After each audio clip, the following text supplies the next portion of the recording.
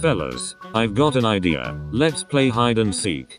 Absolutely not. Why not?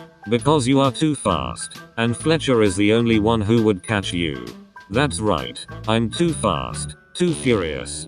Okay fine, how about this? Here Fletcher. Why do I need a walkie talkie? This will tell you where I'll be hiding. Give the boy some hints of where I could be. This absolutely makes no sense, but I guess I'll take it. Alright, you guys start counting, and I'll go hide.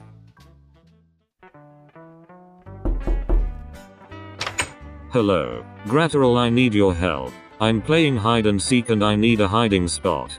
Can I hide in your house? Sure, but only for a little bit. Thank you. Time's up. Time to find Ramon. Alright Fletcher, give us a hint. He went that way. In Graterol's house?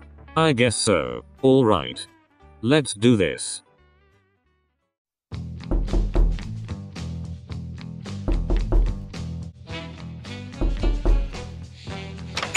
Hello. Hey Graterol have you seen Laureano anywhere? No, definitely haven't seen him. You're lying. We're coming in. Alright guys we're in. Now where could he be?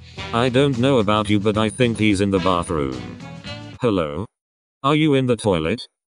Well he's not in the toilet. I'm getting a little hungry. I'm going to get a banana. Are they in here? Oh poop. Well that was easy. Canha let's make a deal. I'll give you $5 and you can let me hide again. $5 you say? I guess that seems fair. Deal? Deal. Well there was no bananas. I'm going to the store to buy some with this $5 bill. Okay here we. Really Ramon? How about another $5? Okay fine.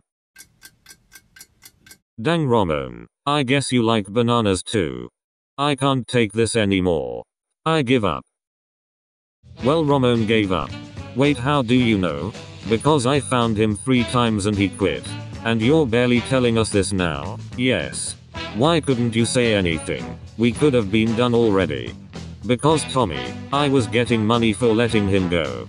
Well I'm glad it's over. Now we can all get bananas. Good idea Oly. Bananas for everyone. Wait what about me?